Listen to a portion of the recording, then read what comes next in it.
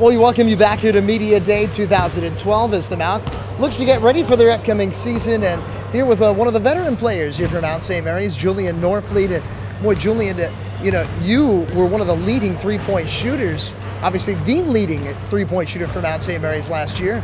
You might get some more opportunities, though, with this type of uh, style of play this season. Yeah, uh, Coach already uh, came to us and told us he wanted to average about 24 three-point attempts this season. So I'm hoping that uh, I can get a couple of those shots up.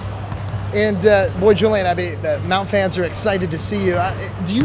What is uh, anything different here in your game here coming towards this season? Are you really kind of looking to get on the wings and uh, hoist some threes? Uh, I think it'll be a, a lot different. you'll see a lot more screener rolls from me. Mm-hmm.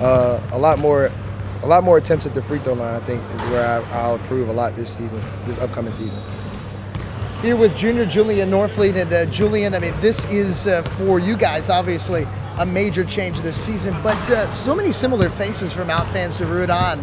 A lot of times when there's a huge coaching change, you see an enormous uh, change across the board. Are you excited to be able to kind of hit the hardwood with so many familiar faces? I think so. I mean, the uh, past two years we've had some dismissals from our teammates and whatnot. So I think uh, us all being together still and um, being able to lock in on the same page, I think that'll be a big help for us this season.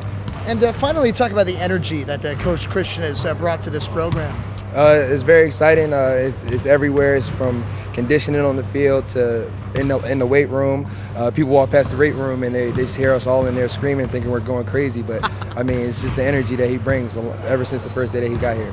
Well, Julian, we can't wait to see the Mount Mayhem in full force, and best of luck at this upcoming season. Thank you very much. We're going to be back with more here from Media Day on MountAthletics.com.